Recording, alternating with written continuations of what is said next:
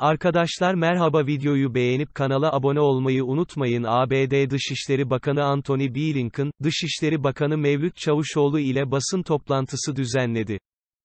Basın toplantısında ABD'nin terör örgütü PKK, YPG'ye verdiği destek üzerinden ikili arasında gerginlik yaşandı.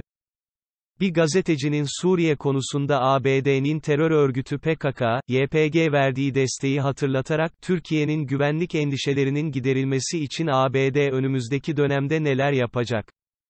Sorusuna Blinken, biz Türkiye'nin güney sınırı ile ilgili olarak güvenlik sorunlarını anlıyoruz. Umarım onlar da bizim DEAŞ ile ilgili endişelerimizi anlıyordur.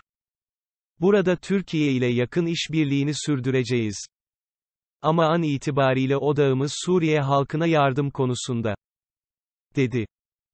Çavuşoğlu ise buna karşılık, biz başka bir terör örgütüne karşı herhangi bir terör örgütü ile işbirliği yapmanın yanlış olduğunu her zaman söylüyoruz.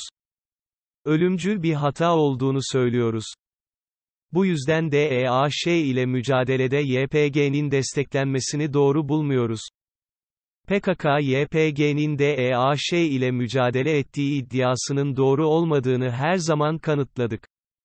NATO olarak her türlü terör örgütü ile mücadele etmemiz lazım. Açıklamalarında bulundu. Öte yandan Türkiye üzerine çalışmalar yapan analist Ivan Starodutsev, Telegram kanalından yaptığı paylaşımda, Blinken ülkeye, dayanışma göstermek ve taziyelerini iletmek için geldi. Ancak batılı siyasetçinin tek amacı bu değil dedi. Starodutsev, Türkiye'ye gelen tüm batılıların ilgilendiği tek bir şey var. Türkiye'nin ve Türk liderliğinin içinde bulunduğu zor durumu kendileri için nasıl somut bir kazanca dönüştürebilecekleri. Amerikalılar, Türkiye'de yaşanan trajedinin Türk yetkililerin Amerika'nın temiz olduğunu düşünmelerini ya da varsaymalarını sağlayacağını düşünüyor diye yazdı.